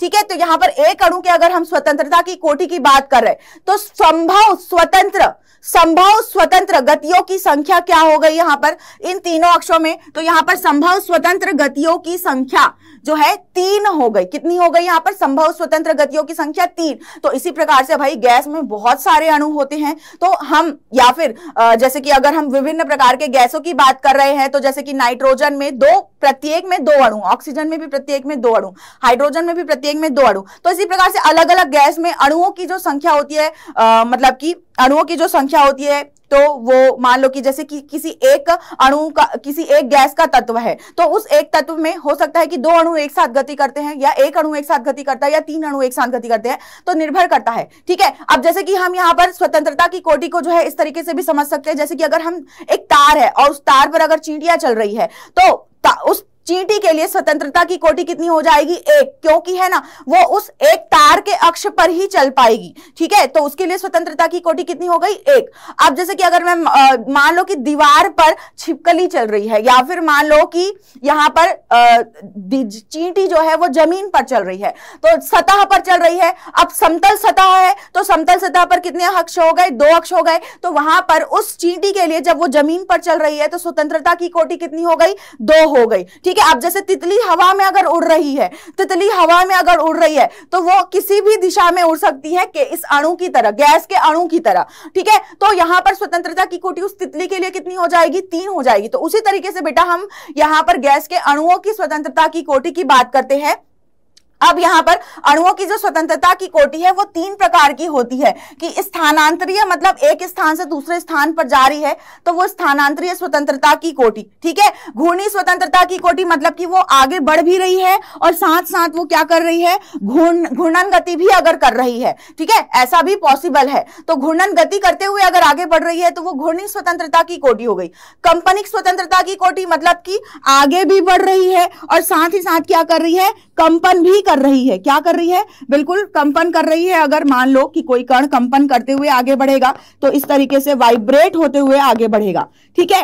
तो यहाँ पर ये तीन प्रकार हम लोगों ने स्वतंत्रता की कोटि के लिए देखा। अगर हमको स्वतंत्रता की कोटि किसी भी अणुओं की संख्या के लिए ज्ञात करनी है तो हम इस सूत्र के द्वारा ज्ञात कर सकते हैं। इस सूत्र को अभी आपको समझने की ज़रूरत नहीं होती है क्योंकि ये जो है आ, मतलब कि आगे डिग्री लेवल पर जो है ये इसका समीकरण या डेरिवेशन की इस पर बात करी जाती है। अभी आप लोगों को बस इतना ही समझना है कि यहाँ पर स्वतंत्रता की कोटि का व्यंजक थ्री ए माइनस बी होता है। अब इस सूत्र का इस्तेमाल हम कैसे करते हैं? तो ये हम लोगों को यहाँ पर स्टेबल टेबल की सहायता से समझ में आएगा। ठीक है? तो इस टेबल की सहायता से जब हम समझेंगे तो यहाँ पर हम तीन चीज़ों के लिए समझने वाले हैं। गैस की परमाणुकता के आधार पर एक परमाणुविक एक परमाणुविक गैस हीलियम नियॉन और आर्गन। एक परमाणुविक गैस होते हैं जहाँ पर इन गैस के आ, मतलब कि यहाँ पर आ, मतलब कहना चाहिए कि एक एक अणु जो है गति करते हैं, ठीक है? लेकिन यहाँ पर जब द्विपरमाणविक गैसों की बात करते हैं तो हाइड्रोजन, ऑक्सीजन, नाइट्रोजन, ये ऐसे गैसेस है जहाँ पर दो अणु साथ साथ गति करते हैं। दो अणु क्या करेंगे? साथ साथ गति करेंगे तो द्विपरमाणविक इनको कहा जाता है? दो परमाणु साथ साथ गति करेंगे। त्रिपरमाणविक की बात अगर हम करते हैं तो जैसे कि H2O भाप की अगर हम बात कर रहे हैं वाष्प ये पानी का सूत्र होता है पर हम आ, पानी गैस है नहीं वो लिक्विड है तो हम भाप की बात करते हैं यहाँ पर। तो यहाँ पर क्या हो जाएँगे? हाइड्रोजन के दो प्लस ऑक्सीजन के एक तो तीन परमाणविक ये हो गए ठीक है?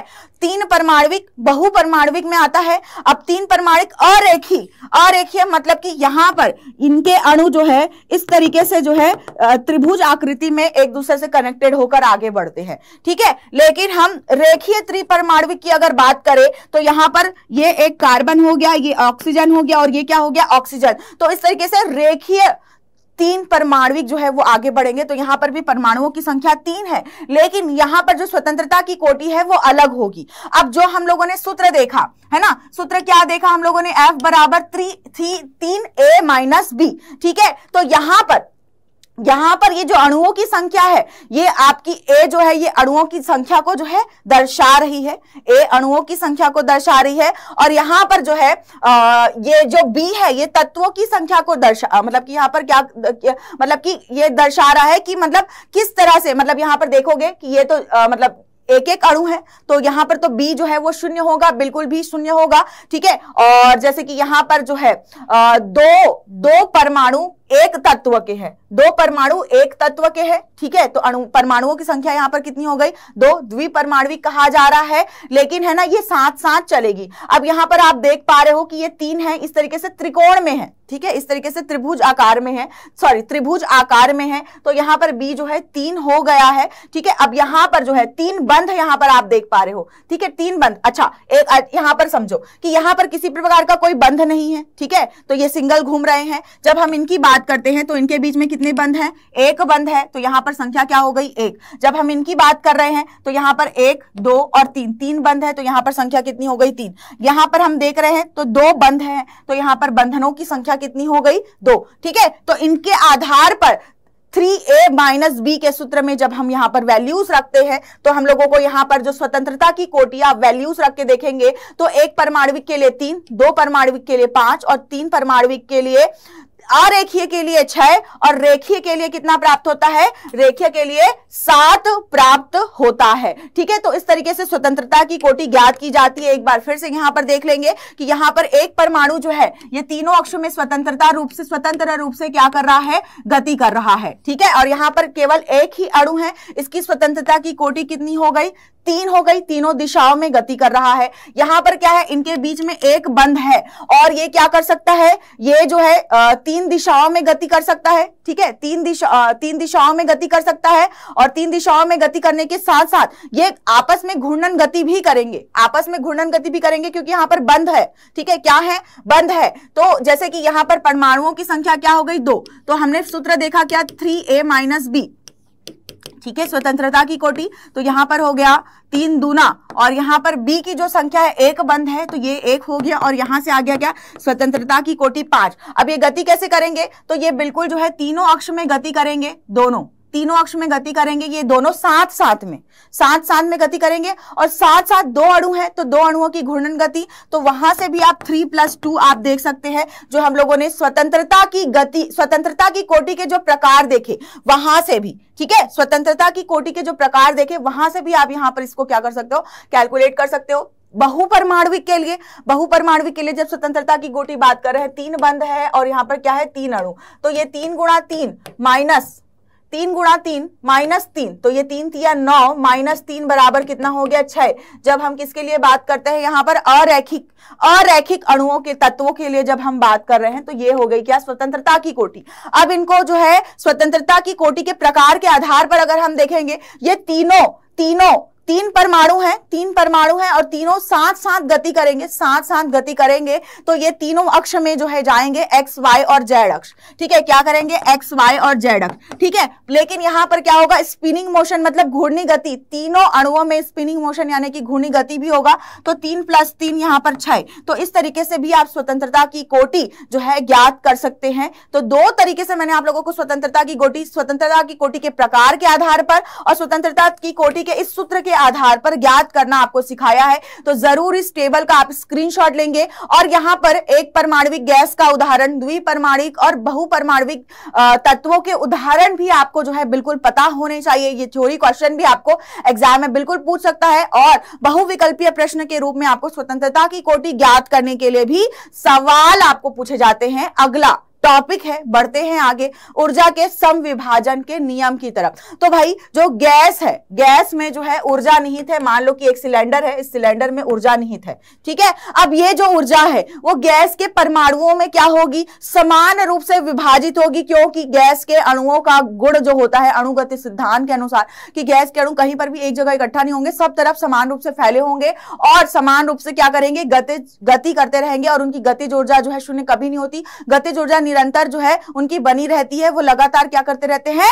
गति करते रहते हैं और उनके बीच में अगर टकराव होता है, टक्कर होता है तो वहाँ पर जो है वो किसी भी प्रकार से ऊर्जा का उत्सर्जन भी नहीं करते हैं, ठीक है? तो इस तरीके से जब हम देखेंगे ऊर्जा के सम विभाजन के बारे में तो बहुत से कणों से मिलकर बने किसी निकाय में या किसी सिलेंडर के गैस में, ठीक है? क्या होती है? आंतरिक गतिज ऊर्जा इसकी सभी स्वतंत्र कोटियों में समान रूप से वितरित होती है। तो ये ऊर्जा क्या रहेगी? सभी सभी स्वतंत्रता की कोटि में, सभी स्वतंत्र कोटियों में समान रूप से वितरित होगी, ठीक है? तो इसका जो हमको इसके लिए जो हम क्या करते हैं, अगर हम इसका जो संविभाजन का नियम जब देखते हैं तो परम शून्य ताप टी पर साम्य अवस्था में किसी निकाय के लिए, क्योंकि देखो, परम शून्य ताप कुछ ना कुछ ताप होना ज़रूरी है, क्योंकि अगर मान लो कि परम ताप की बात कर रहे हैं, क्योंकि अगर तापमान अगर शून्य रहा तो गति ऊर्जा भी शून्य होगी, क्योंकि उनका वेग शून्य हो जाएगा। इसके बारे में हम लोगों ने अभी अभी बात किया।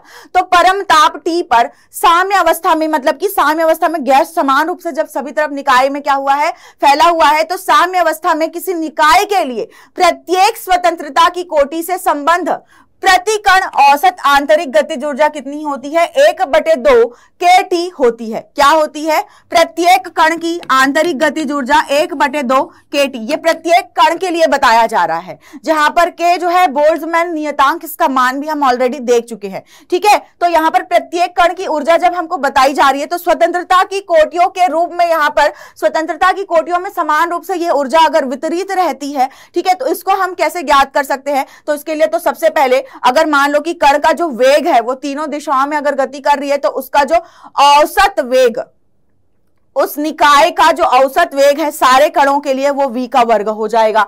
अब हम दोनों पक्षों में हमने क्या किया है? दोनों पक्षों में हमने एक बटे दो एम का गुणा दोनों पक्षों में किया लेफ़्ट साइड में और राइट साइड में।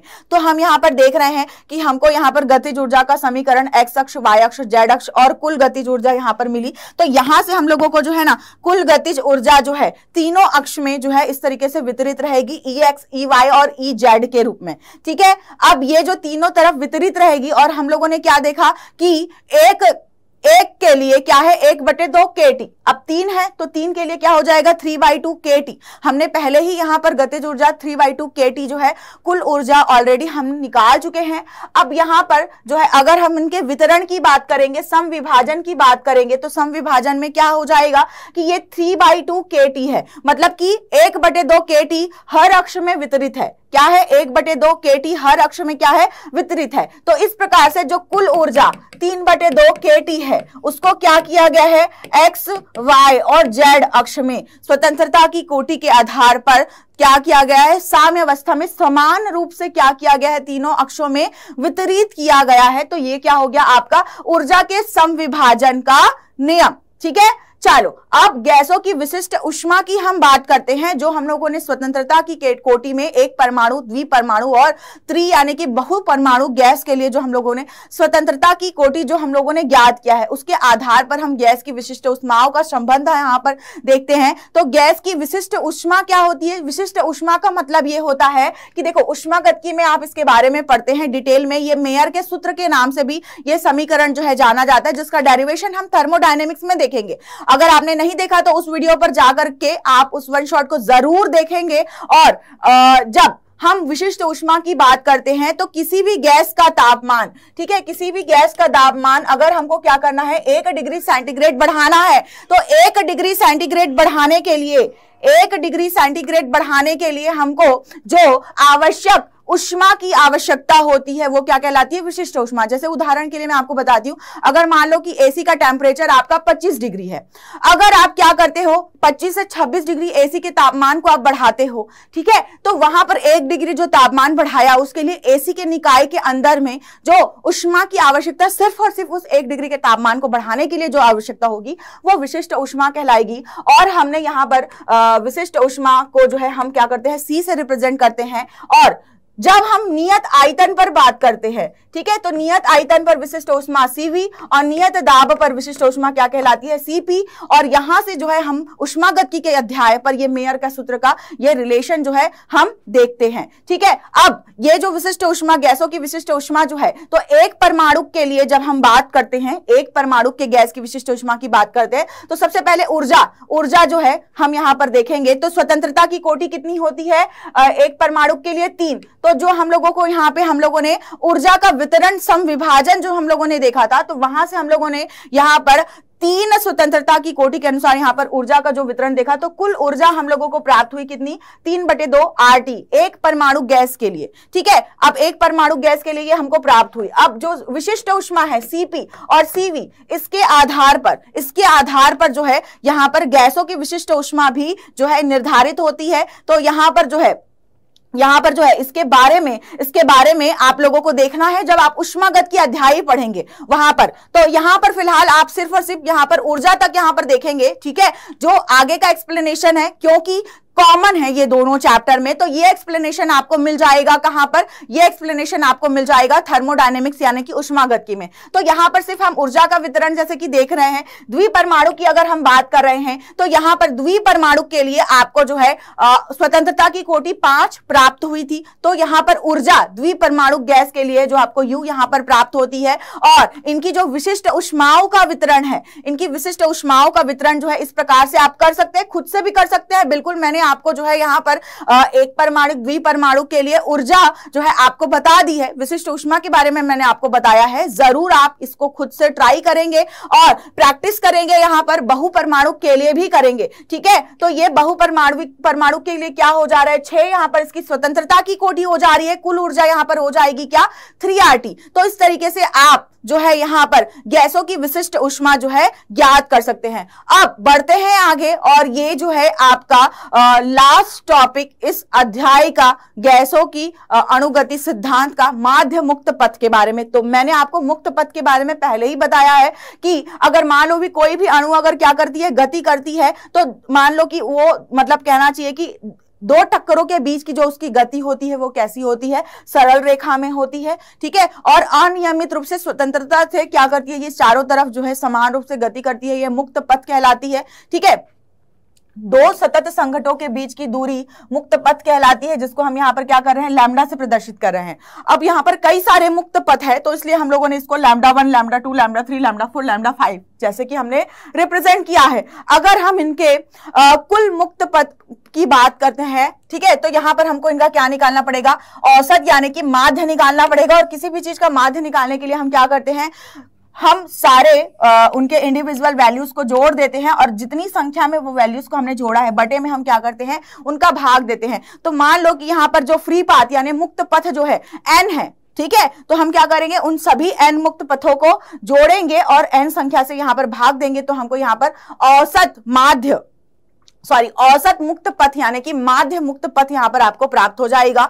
और दूसरा तरीका भी है माध्य मुक्त पथ, ये सूत्र की सहायता से कि जो अणु की माध्य चाल हम लोगों ने ज्ञात की। अणु की जो माध्य चाल हम लोगों ने ज्ञात की है, ठीक है? तो उस अणु की माध्य चाल से अगर हम क्या करेंगे, टक्कर आवृत्ति को जब हम भाग देंगे तो इसकी सहायता से भी हम क्या कर सकते हैं? यहाँ पर माध्य मुक्त पथ ज्ञात कर सकते हैं और इस सूत्र की सहायता से ही बढ़ेंगे आगे और इस माध्य मुक्त पथ का हम डेरिवेशन करेंगे। यहाँ पर ये जो डायग्राम आपको दिया गया है, ये जो डायग्राम आपको दिया गया है, इस डायग्राम में मान लो कि ये सिलिंड्रिकल शेप में आपको यहाँ पर बर्तन लिया गया है। अब इस बर्तन में मान लो कि बहुत सारे अणु तो है, लेकिन अगर हम एक अणु की बात कर रहे हैं तो इस तरीके से ये दृढ़ गोलाकार है।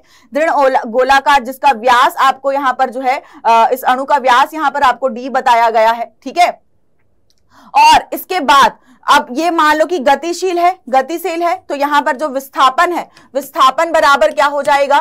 वेग गुणा समय, क्योंकि क्या होगा? गतिशील है, लगातार गति करते रहेगा तो मान लो कि दो अणुओं के बीच में टक्कर हुई तो आपको मुक्त पथ फ्री पाथ आपको प्राप्त होगा। क्या प्राप्त होगा आपको? फ्री पाथ प्राप्त होगा दो अणुओं के बीच टक्कर में, ठीक है? तो ये जो फ्री पाथ आपको मिलेगा, वो दो टक्कर, दो सतत टक्करों के बीच की जो दूरी है, ठीक है? अब ये जो दूरी है, ये जो दूरी है, ये आप कैसे निकाल सकते हो? तो ये जो दूरी है, वो आप वेग, चाल गुणा समय, है ना? दूरी बराबर, ये विस्थापन बराबर वेग गुणा समय या दूरी बराबर चाल गुणा समय ठीक है तो यहाँ पर हम लोगों ने वी क्या लिया है? कड़ों का चाल लिया है और समय जो है स्मॉल समय अंतराल डेल्टा टी टाइम के लिए यहाँ पर टकरा रहा है। तो यहाँ से आपकी दूरी क्या हो गई? वी डेल्टा टी ठीक है? अब यहाँ पर अगर मान लो कि हम कितने आयतन पर यहाँ पर टक्कर हो रहा है, ठीक है? तो क्षेत्रफल गुणा दूरी, क्षेत्रफल गुणा दूरी से हम लोगों को यहाँ पर क्या मिल जाएगा? आयतन मिल जाएगा। ये आयतन हम लोगों को आगे चल के काम आएगा, हम लोग फाइंड आउट करेंगे, ठीक है? कोई बात नहीं, जो एक्सप्लेनेशन मैंने आप लोगों को यहाँ पर दिया, एक अणु के लिए, अगर सेम चीज़ को आप एन अणुओं के लिए अगर आप देखेंगे, और ये सारे के सारे अणु क्या कर रहे हैं? एक समान वी वेग से जो है, आगे बढ़ रहे हैं, ठीक है? तो इनके लिए हम यहाँ पर माध्य मुक्त पथ का क्या करेंगे? डेरिवेशन देखेंगे। यहाँ पर मैंने आपको आयतन की बात बताई है, ठीक है? तो यहाँ पर जो है, आयतन बराबर क्या हो गया है आपका? आयतन बराबर क्षेत्रफल गुणा दूरी।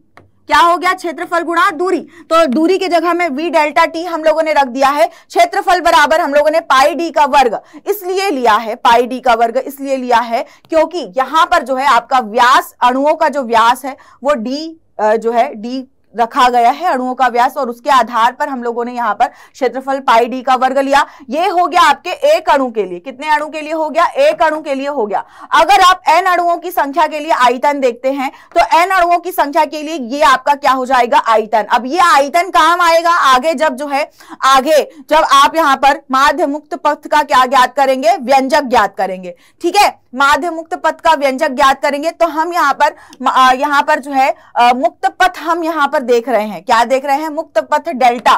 डेल्टा बराबर जो हम लोगों ने lambda one, lambda two plus lambda three plus lambda N बटे एन जो हम लोगों ने देखा था, ठीक है? तो ऊपर में ये जो है, दूरी आपके लिए यहाँ पर रखी गई है। दूरी बटे क्या हो गया है? आयतन। दूरी बटे आयतन हम लोगों ने रखा कितने अणुओं के लिए? एन अणुओं के लिए रखा, ठीक है? अब ये जो है किसके आधार पर रखा गया तो ये बिल्कुल इस सूत्र के आधार पर जो है रखा गया है। इस सूत्र के आधार पर जो है ये समीकरण में जो है वैल्यूज़ जो है वो रखी गई है। अब यहाँ से जो है, हम देखेंगे तो क्या हो जाएगा, ये हमारा वी डेल्टा टी और V delta T cancel out हो जाएगा। और यहाँ से हमारा जो समीकरण माध्य मुक्त पद के लिए आएगा, एक बटे पाई डी का वर्ग एन ठीक है? अब पाई डी का वर्ग एन ये माध्य मुक्त पद का जो समीकरण आता है तो यहाँ पर क्या हुआ कि व्यवहारिकता में साइंटिस्ट ने बहुत सारे इसके इसके प्रति रिसर्च करे एक्सपेरिमेंट करे और उन्होंने पूरे सिलेंडर में जो बहुत सारे अणुओं की संख्या एन हम लोग यहाँ पर देख रहे हैं, ठीक है? इसका बार बार आंकलन किया। आंकलन करने के आधार पर उन्होंने यहाँ पर जो है एक सुधार किया कि यहाँ पर वास्तविकता में जो माध्य मुक्त पथ होता है, यहाँ पर उन्होंने वर्गमूल दो का भाग दिया। मतलब जो माध्य मुक्त पथ का रियल मान जो प्राप्त हो रहा था, वहाँ पर जो है अगर इस समीकरण में हम वर्गमूल दो का भाग दे देंगे तो वास्तविकता में आपको यह मान बार बार विभिन्न प्रयोगों के द्वारा प्राप्त हुआ। ठीक है? तो इस समीकरण में सुधार करते हुए उन्होंने इस सूत्र को क्या किया? फाइनल किया माध्य मुक्त पथ के व्यंजक के रूप में। ठीक है? माध्य मुक्त पथ के व्यंजक के रूप में। अब यहाँ पर एन का हमने क्या किया है? यहाँ पर ये जो एन है, इस एन के जगह में हमने ये समीकरण कैसे प्राप्त किया? तो इस एन की जगह में हम लोगों ने जो है, ये मान रखते हुए, ये मान रखते हुए एन की जगह में हमने मान रखते हुए ये समीकरण भी है, प्राप्त किया है। तो ये माध्य मुक्त पथ का व्यंजक का हम लोगों ने एक बार रिविजन हमने देख लिया है, ठीक है? आवोग्रादो संख्या की अगर हम बात करते हैं तो आवोग्रादो संख्या का मतलब आपको पता है कि जब हम किसी तत्व के एक ग्राम मोल में उपस्थित कुल अणुओं की संख्या की बात करते हैं तो यह संख्या क्या कहलाती है? आवोग्रादो संख्या कहलाती है। अब ये प्रश्न जो है आपको बिल्कुल एक नंबर दो, एक नंबर में या दो नंबर में आपको पूछ सकता है। आवोग्रादो संख्या का मान प्रत्येक गैस के लिए यहाँ पर दिया हुआ है, जिसको हम यहाँ पर एन ए से व्यक्त कर रहे हैं। एन ए से इसलिए व्यक्त कर रहे हैं क्योंकि एकांक आयतन में अणुओं की संख्या एन और आवोग्रादो संख्या तो दोनों में डिफ्रेंशिएट यहाँ पर हम समझ पाए, जिसकी वजह से एन ए से हम यहाँ पर व्यक्त करेंगे। आदर्श गैस समीकरण एक मोल गैस के लिए हम लोगों ने देखा पीवी बराबर आर टी ठीक है अब ये रिलेशन भी हम पहले ही देख चुके हैं। अब यहाँ पर जो है ये क्या है? आ, गैस का सार्वत्रिक नियतांक जिसको हम रिडबर्ग नियतांक भी हम बोलते हैं। ठीक है अब इस तरीके से जो है आवोग्रादो संख्या और बोल्टमैन नियतांक के बीच में क्या होता है? संबंध। आर बराबर एन ए के ठीक है? तो के की जगह यहाँ पर एन ए के भी आप जो है रख सकते हैं आवोग्रादो संख्या क्योंकि यहाँ पर जो है आ, एक किसी तत्व के एक ग्राम मोल में उपस्थित कुल अणुओं की संख्या ये फिक्स्ड वैल्यू फिक्स्ड मान जो होता है और तीनों के तीनों ही यहाँ पर क्या है? नियतांक है ठीक है? अब इसके अलावा आवोग्रादो संख्या का महत्व काफ़ी सारे इसके महत्व है कि इसका जो है इस्तेमाल जो है परमाणु के वास्तविक भार ज्ञात करने के लिए अणु का भार ज्ञात करने के लिए और यहाँ पर जो है विभिन्न तत्व में जो परमाणुओं की संख्या ज्ञात करने के लिए या फिर आयतन में अणुओं की संख्या ज्ञात करने के लिए या फिर किसी निश्चित मात्रा के पदार्थ में अणुओं की संख्या ज्ञात करने के लिए मतलब कि भौतिक चीज़ों की, काफ़ी सारी चीज़ों की संख्या को कैलकुलेट करने के लिए इस आवोग्रादो संख्या का जो है इस्तेमाल किया जाता है। इसी वजह से ये काफ़ी ज़्यादा महत्वपूर्ण भी है। तो हमने इस चैप्टर के सभी टॉपिक जो है, क्विक रिविजन के रूप में, वन शॉर्ट रिविजन के लिए यहाँ पर हम लोगों ने देख लिया है। तो उम्मीद कर करती हूँ कि आपके लिए ये लेक्चर बहुत ज़्यादा काम आने वाला है, जिसको आपको एक बार नहीं, बार बार नहीं, बार बार आपको देखना है, एक बार नहीं, दो बार नहीं, बार बार आपको देखना है। सारे के सारे दोस्तों को लगातार आपको शेयर करते रहना है, और अगर ये वीडियो अच्छा लगा तो आपको इस वीडियो को लाइक ज़रूर करना है, क्योंकि यही हमारा उत्साह लगातार बढ़ाता है, और बिल्कुल हम लगातार मेहनत करते हुए अपने सभी प्यारे बच्चों के लिए लगातार जो है वीडियोस लेकर के, निरंतर लेक्चर्स लेकर के हम आ रहे हैं।